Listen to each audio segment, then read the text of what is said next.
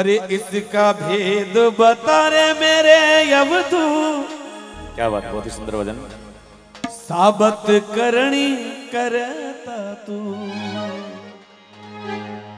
ए डाली भूल जगत में कैसी। बहुत ही सुंदर भजन शब्दों पे ध्यान देना एक एक शब्द बड़ा आनंद आएगा। हाँ। हो डाली भूल अरे जगत में कैसी। अरे जित देखो उत तू ही तू हाँ? इसका भेद बता रे मेरे अब तू साबत कर रहो तू।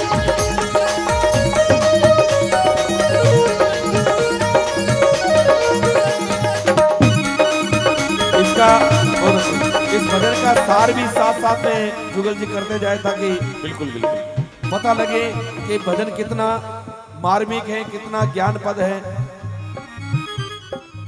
इसका भेद बता रे मेरे अवधू आप करनी ताली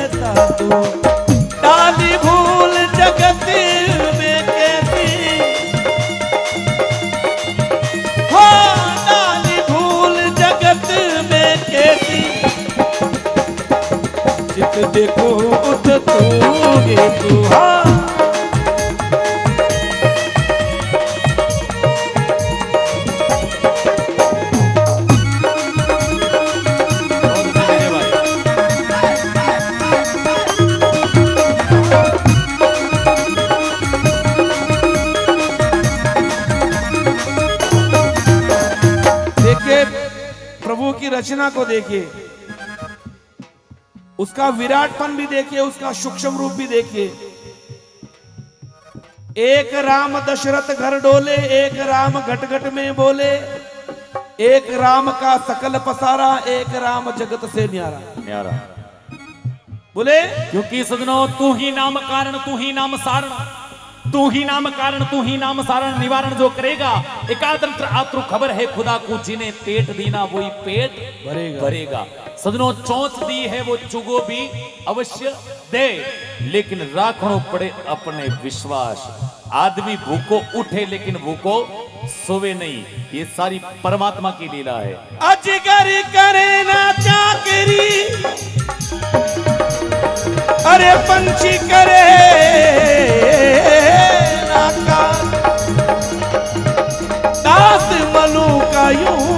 कहे भाई सबका दातारा क्योंकि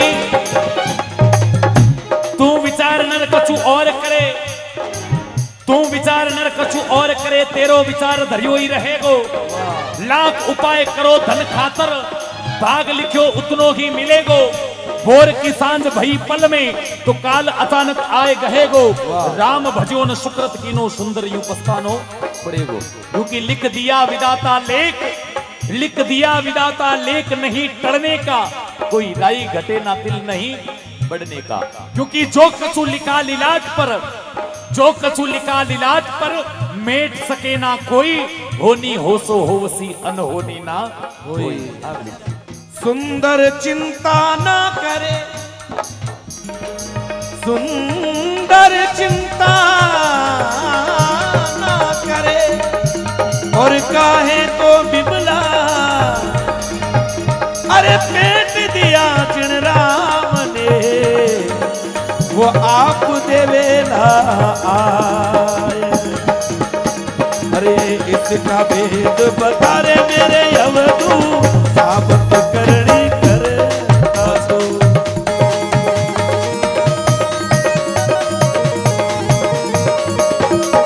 पहली बात बताई। ओम जी, भाई साहब। हाथी में मोटो बन बैठो, कीड़ी माई छोटो तो। हो।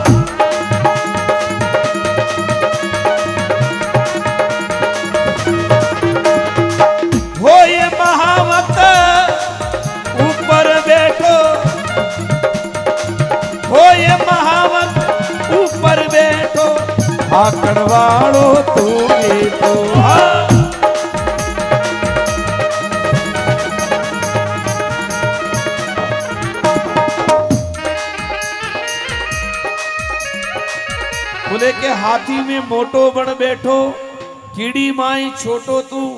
अरे होई महावत, ऊपर बैठो हाकण वाड़ो, तू ही तू। सदनों ये सत्य बात है कि परमात्मा कब चाहे किसको नीचे गिरा दे और कब चाहे किसको आसमान पर बिठा दे। एक राजा सदनों एक शर्त राखी कि जो मेरे प्रश्न का जवाब दे देगा उसका मैं गुलाम बन जाऊँगा। और जिसने जवाब नहीं दिया उसको मैं कैद खाने में रख दूँगा। अब काफ़ी जना गया जवाब नहीं दे पाया। एक नगर सेठ जिन्हें नौकर चाकर ने साथे ले और नगर सेठ भी उन ज्ञानी हो नगर सेठ हो। वो जवाब देने वास्ते गयो अबे साथे एक नगर सेठ हो तो उन्हें पगड़ क्या भी महँगी। अब उन पगड़ की ने माथा माथे ऊंचान खड़ो रेवे। जब तक वो सेठ वापस अंदर जाना वापस नहीं आवे जीते। एक सात आठ साल रो बच्चो वो नगर सेठ री जूतारी रुखाली करने वास्ते साथे अब वो बच्चों उन्हें जूती ने माथा माथे उठाई है। सुनने जैसी बात है बहुत सुंदर बता रही है जूती ने माथा पर उठाई है और सेठ जी ने कहो आप जाओ जवाब देना हो। सेठ जी गया अंदर और राजा प्रसन्न करियो। कि ईश्वर क्या है? परमात्मा क्या है? अबे सेठ जी के परमात्मा तो परमात्मा है। परमात्मा क्या है? आ बात सेठ जी के दिमाग में नहीं आई। अब सेठ जी ने कहा, चलो कैद में। सेठ जी के साथ बारे, मारा जूता है मैं जूता ले रहा जाऊँ थोड़ा। अब सेठ जी मारे गया। और मुंडो छोटो गोयड़ो सेठ जी रो बच्चों पूछियो सेठ जी। आप गया जने तो बहुत खुश हा और आया जने यूँ उदास की करो या बोले राजा ऐसो सवाल पूछियो जिनो जवाब मैं नहीं दे सकियो इन वास्ते कैद में डालेगा अब बच्चों के ऐसो राजा कई जवाब सवाल पूछियो आपसे। कि राजा पूछियो ईश्वर क्या है? बच्चों के सेठ जी आप एक काम करो मारा जूता रो ध्यान थे रखो। और मैं राजा ने जवाब देना हूँ। सेठ देखो रे मैं जवाब नहीं दे सकियो नगर सेठ इतनी सत्संगा करी इतनी जागरणा करी। क्या बात मैं जवाब नहीं दे सकियो और वो काल परसों बच्चों जवाब दे दी बोले भाई जा दे रहा अब बच्चों गयो अंदर। और राजा साहब ने खमागणी करी है और पूछे राजा साहब आप रो प्रश्न कहीं है राजा बोलियो ईश्वर क्या है? परमात्मा क्या है? बच्चों कैसा परमात्मा वो है जो एक मिनट में नगर सेठ ने पगड़ क्या रो रुखाली करना लो बनाई दियो और एक। मिनट में क्या बात है?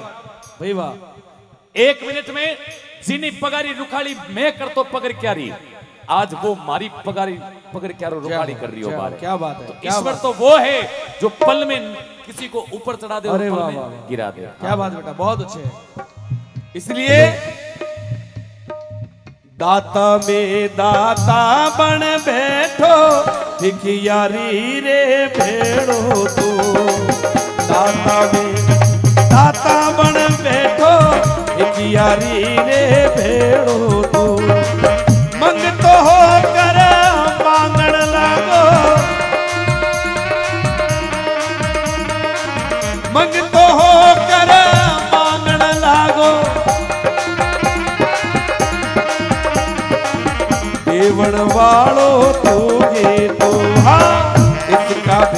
बता रे मेरे अब तू, साबत करनी कर का तू।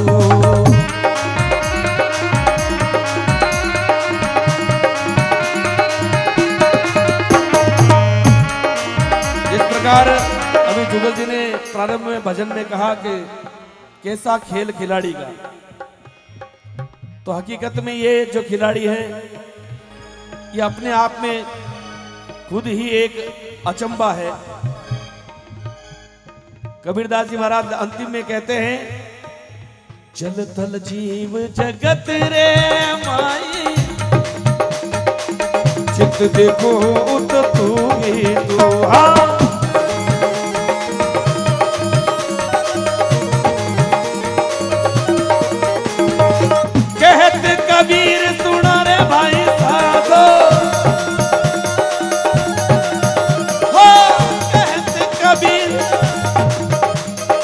हमारे भाई साधो। गुरु मिलिया है पूरा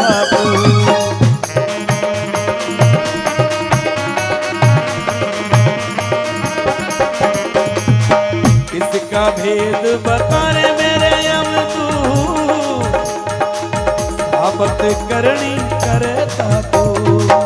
आपत करनी करता तू।